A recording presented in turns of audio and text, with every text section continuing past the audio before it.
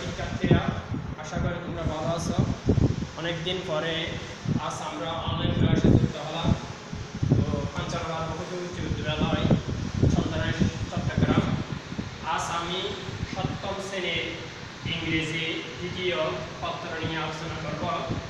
আজ আমি সপ্তম শ্রেণির ইংরেজি দ্বিতীয় পত্র নিয়ে আলোচনা করতে এসেছি অনলাইন ক্লাসে আশা করি তোমরা ভালো আছো, আমিও ভালো আছি। তো আমি সপ্তম শ্রেণির দ্বিতীয়ের মধ্যে নাম্বার নিয়ে আলোচনা করব। আজকে গ্রামারের টপিক হচ্ছে কি? নাম্বার। নাম্বার নিয়ে আমরা আজ আলোচনা করব। তোমরা ভালো করে খাতা কলম নিয়ে টেবিলের সামনে বসে এই অনলাইন ক্লাসটি দেখবা এবং বুঝবা কোনো প্রশ্ন থাকলে আগামী ক্লাসে আমাকে প্রশ্ন করতে পারবে। স্যার, আমি এখন অনলাইন ক্লাসে নাম্বার নিয়ে আলোচনা করতেছি, তোমরা বুঝতে চেষ্টা করো। আজ আমি এই নাম্বার নাম্বার অর্থ হচ্ছে যে নাম্বার হচ্ছে ইংরেজি শব্দ এবং এর বাংলা অর্থ হচ্ছে বচন। তাহলে হচ্ছে নাম্বার দুই প্রকার। নাম্বার হচ্ছে কয় প্রকার? দুই প্রকার। একটা হচ্ছে সিঙ্গুলার নাম্বার একটা হচ্ছে যে পুরান নাম্বার নাম্বার কাকে বলে? অর্থাৎ কোনো ব্যক্তি বা বস্তুর সংখ্যাকে নির্ণয় করাকে নাম্বার বলে। কোনো ব্যক্তি, বস্তু, জিনিস, কোনো কিছুর সংখ্যা নির্ণয় করাকে, সংখ্যা নির্ধারণ করাকে কি বলা হয়? নাম্বার বলা হয়। নাম্বার হচ্ছে যে দুই প্রকার। একটা হচ্ছে সিঙ্গুলার নাম্বার এক বছর সিঙ্গুলার নাম্বার এক বছর আর দ্বিতীয় নাম্বার হচ্ছে ফুলার নাম্বার বহু বছর ফুলার নাম্বার বহু বছর অর্থাৎ এক বছর অর্থাৎ তাকে ইংরেজিতে বলা হয় সিঙ্গুলার নাম্বার এক বছর কাকে বলা হয়? সিঙ্গুলার নাম্বার কাকে বলা হয়? বলতেছি শুনো এক সিঙ্গুলার নাম্বার হচ্ছে যে কোনো এক এক ব্যক্তি বা বস্তু বা কোনো জিনিস, শুধুমাত্র একজন ব্যক্তি, বস্তু বা কোনো মানুষকে সিঙ্গুলার নাম্বার বলা হয়। একের চাইও অধিক নয়। শুধুমাত্র একজন ব্যক্তি বস্তুকে সিঙ্গুলার নাম্বার বলা হয়, অর্থাৎ এক বছর বলা হয়। আর প্লুরাল নাম্বার হচ্ছে একের অধিক, অর্থাৎ একজনের চেয়ে অধিক ব্যক্তি, বস্তু, সংখ্যা, পরিমাপ ইত্যাদিকে প্লুরাল নাম্বার বলা হয়। যেমন ধরো প্লুরাল নাম্বার হচ্ছে যে বহু বছর বহু বছর মানে বহু হতে হবে, একের অধিক হতে হবে।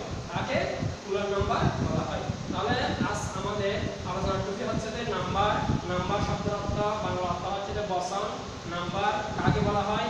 কোনো জিনিস, বস্তু, ব্যক্তি বা সংখ্যা, পরিমাপ। এর সংখ্যা নির্ণয় করা। কি? সংখ্যা নির্ণয়। সংখ্যা।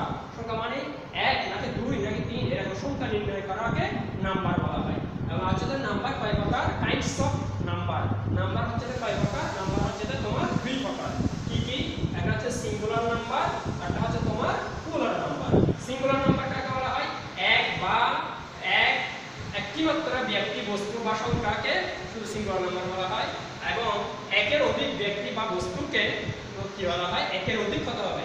বস্তুকে প্লুরাল নাম্বার বলা হয়। যেমন ধরো সিঙ্গুলার নাম্বারের মধ্যে, যেমন এক্সাম্পলের মধ্যে আছে সিঙ্গুলার নাম্বারের মধ্যে আমি দেওয়া যায় সিঙ্গুলার নাম্বারের মধ্যে দেওয়া যায়, উদাহরণ যেমন ধরো কি? বুক ওয়ান বুক হ্যাঁ? এখানে আমাদের বুক নির্দিষ্ট করে বোঝা যায়। যেমন ধরো এম এন ম্যান অর্থ কি মানুষ এরপর আরও আছে যেমন ধরো বুক বুক এটা আছে একটি বই এখানে আছে একটি বই এবং ধরো এটা ম্যান আর পুরার নাম্বারের মধ্যে দেওয়া যায় পুরার নাম্বারের মধ্যে দেওয়া যায় আপনার কি?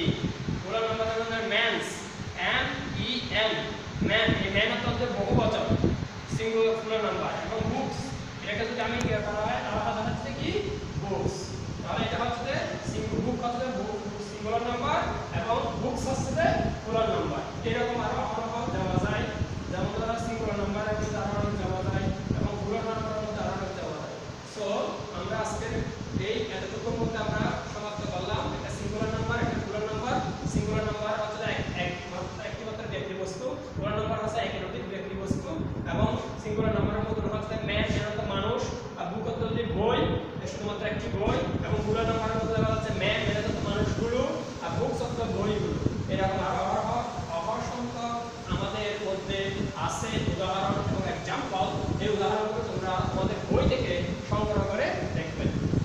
ধন্যবাদ থ্যাংক ইউ ভালো থাকবে